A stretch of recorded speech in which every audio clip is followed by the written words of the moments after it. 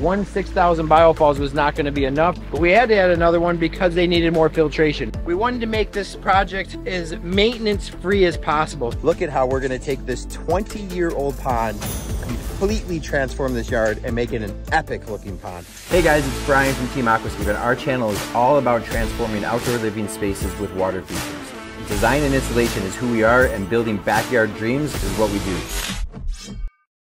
All right, pond people, this is kind of an unusual one. This is a pond we built, feels like six, seven, maybe even eight years ago. But for all intents and purposes, it's a really nice pond. Not much I would change with the pond. It's definitely void of a lot of plants, but it's that time of year where a lot of perennials have gone down. They've gone ahead and taken the liberty to move some of the perennials because we're gonna be making this pond much bigger. But there is absolutely nothing with that pond. In fact, I was really proud of it when we built it the first time.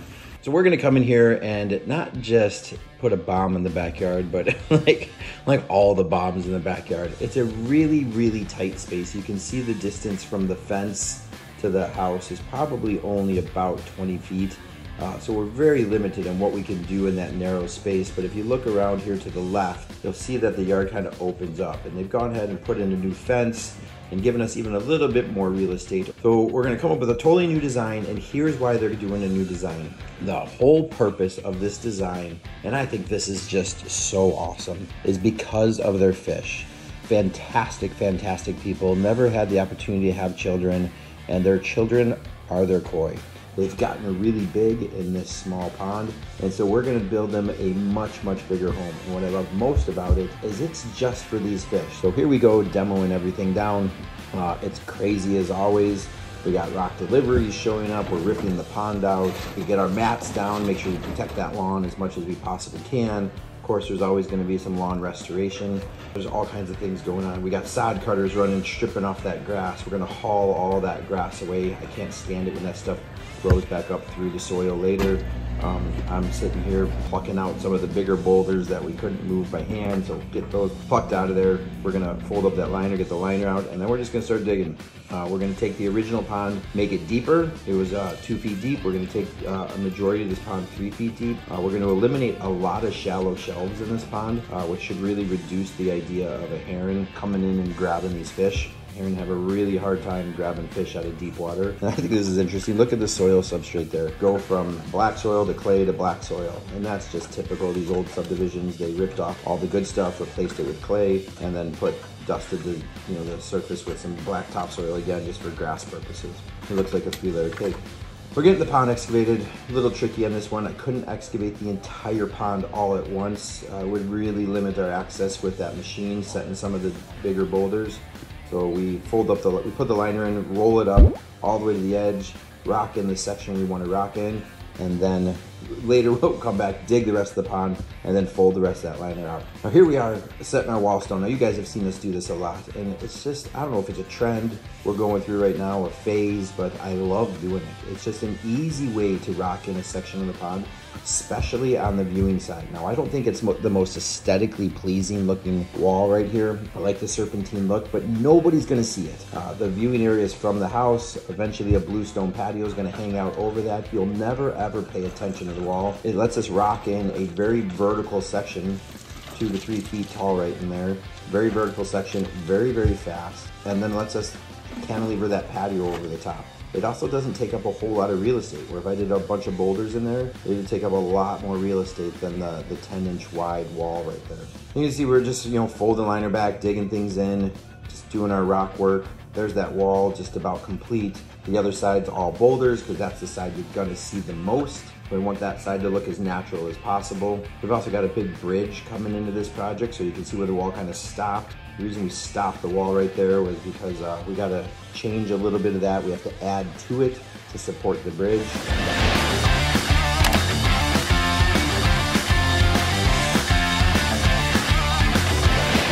Up the filtration on this, so we added a 6,000 biofalls and one of our new filter bowls. Now this pond definitely warrants, because of the size of it, a wetland filter. Normally I would have 100% put a wetland filter on this, but the budget didn't allow for it and the customers promised me they weren't thinking of doing any more fish. Now do I think they might get caught up in the fact that they'll buy a couple more? For sure. But as long as they don't go overboard with the fish, two biofalls and the filter bowl are definitely gonna keep this pond crystal, crystal clear. So here we are, you got that liner folded back, dug the rest of it out. Now you can kind of see the, the entire size of this pond. We didn't just make it bigger, we made it about six times bigger. So really, really big pond. There we are putting that wall in for the bridge. Here we are playing around. A big part of what we do is R&D. Uh, we're constantly field testing new product and stuff. And this is a new fabric mat that has handholds in it. Now it's typically used so guys can just grab sides of the fabric and then carry those boulders. Here we are just testing the strength of those handles. And that's about 800 pound rock right there. So getting that rock down in there. The nice thing about the mats too is once you've set the rock, you can just leave the mat in the pond. So it gives us a nice cushion on top of the liner, ease of dropping the boulder in. But like I said, normally we would just strap that boulder and put it down in there. Oh, here's Jackie Boy talking about the planned rocking the whole pond in. He's rocked most of that stuff in. I rocked a little bit in the old section over there, uh, placed that bowl. Chris doing his thing, cutting these boulders in into the shape of the wall. Jack leveling out both the supports for that bridge. That bridge can just drop right in. It's really important that it's uh, level side to side and front to back. There's the bridge. Put up a little guardrail on it just to uh, make sure people are focused on where they're walking and uh, nobody older is going to fall into the pond over time. Well, the hardest part about that bridge is making it look like it's sunk in. If I had a little bit more space, maybe back where some of those buckets are, I'd even berm that up a little bit more. But with proper landscaping and get some height on the back side of that bridge, it'll really make the bridge feel kind of sunken down in. Things are really coming together at this point. You got another wall over here that we put in, foreground there. We're going to have another patio cantilever out over that that. So a bridge that kind of comes around and, and leads to that patio.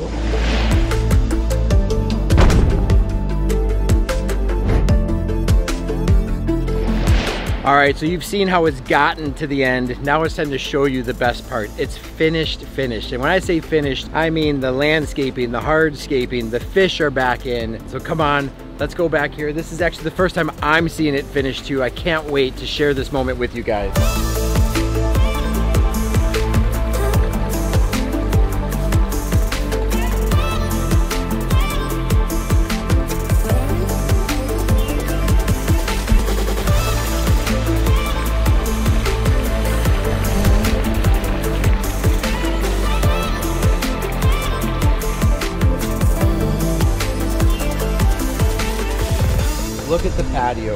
Jeff from Premier Landscaping did such a killer job. Just kind of gave an idea of where the patio should sit and let him do his thing. And I love this. I love the huge giant pavers he chose. That really helps like these rocking chairs rock smooth without things falling into joints. You can see the Mr. and Mrs. Spade have already picked out a little fire pit over here, got their other chairs back in and around it. What an awesome spot. And the one thing they really wanted was a place that they could sit in the afternoon without being blasted by the sun. And so sitting over here behind the house and being able to still look at the pond, see the fish, see some waterfalls off in the distance was really, really special and important for him. And I think we achieved that. You guys see us do this over and over, and this is something we love doing, bringing that pond right up next to a hardscape.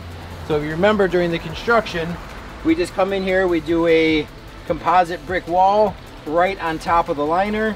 That liner flips back over the wall like this, and then a, a soldier course or a capstone can go back on top, allowing that pond to come right up close to the patio without taking a whole lot of real estate up. They can come over here and feed the fish right from their hand. The other thing that's great about this pond is the circulation. So you can see we've got some jets over in this area. Best thing about these jets Yes, it helps circulate water from a dead area, but in the winter, all they have to do is come down here, angle these guys up, and that turns into a permanent winter deicer.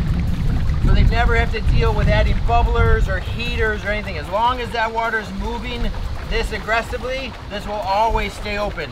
In the summer, where they want to calm it down a little bit, they can just push this down. And there we go, we got that kind of gentle flow. they want to push it down even more, they just angle these and they can keep changing that flow. We wanted to make this project as maintenance free as possible. So I tell them right now with all the bells and whistles that we put on this pond, your pond is on autopilot. So they don't have to pull pumps, they don't have to put in floating heaters, they don't have to do deicers, um, they don't have to do aerators. All that stuff is in here.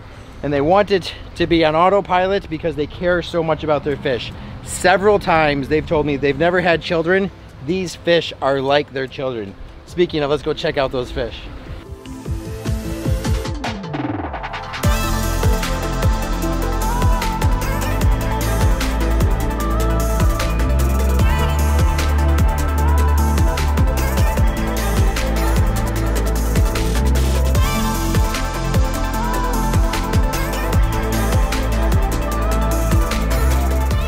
Now you can see why they're so attached to them. They've gotten pretty big and they got really, really big in a small pond. That original pond went from here to about that sweet flag area over there and that's it. So they had, I think they had 10 fish living in a 9 by 14 foot size pond, really shrunk in. Now we've more than quadrupled the size of the pond, giving their children a place that they can actually swim around and enjoy for the rest of their lives. We added another waterfall over on the side over here. The main reason we had to add that other waterfall was not aesthetics. This waterfall was already really lined up for the viewing from inside the house.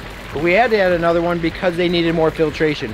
One 6,000 biofalls was not going to be enough, so we had to add another one. We also added one of our filter bowls over here. We haven't put the filter media in it yet. Next spring, we'll add all that filter media, but between that 6,000 biofalls, this 2,500, and then the filter bowl, which is equivalent to the filtration of a 2,500. This pond is gonna stay crystal, crystal clear. Over here, we did the same thing. We used that wall stone inside the pond, which allowed us to then cantilever a bluestone, a natural bluestone, right out over the top, where we didn't have to use a soldier course. I love this look because it just allows you to look straight down into the water. And then the final thing that we added was this bridge. The bridge was kind of an evolution in the design. We knew we wanted to do a bridge. We weren't sure exactly what type of bridge we wanted to do. They were really dead set on doing a stone slab. I just couldn't find a stone slab long enough. So I built this out in the front yard. It works out perfect. It allows them to have a 42 inch wide bridge, about seven feet long, effortlessly kind of come out over to it. And one of my things is a bridge always has to lead to something. Here the design didn't allow it to really lend back into the patio. So as you walk this way, the bridge will lead you over to eventually what will be a bird feeder sitting right over here. And they really, really love their bird feeders. So they've got bird feeders all over the yard. The birds allow a lot of visual interest. So there's still a destination point for the bridge to take you to. Jack Bazinski, Andrew Pape, Bud, Chris Z, the rest of the guys from Team Aquascape built this without me touching a single boulder. The only thing I did on this project was give a little bit of guidance on the design, kind of lay out where things were gonna go, help lay out where the bridge was gonna go, help lay out the pond. They placed every single rock. These guys are getting so, so talented. It makes me so proud to see them not just love the project, but really enjoy the art of placing all the boulders. They did such an awesome job. The thing that was most important to me about this project though was the customers. Mr. and Mrs. Spade were just so fantastic. They were really just hands off, Brian, do your thing, whatever you want to do. The hospitality was endless. And uh, you guys, thank you so much for trusting us to do this in your yard. Hopefully you like this episode. Uh, tell me your favorite part like you all have so many times in the past and we'll do it again real soon.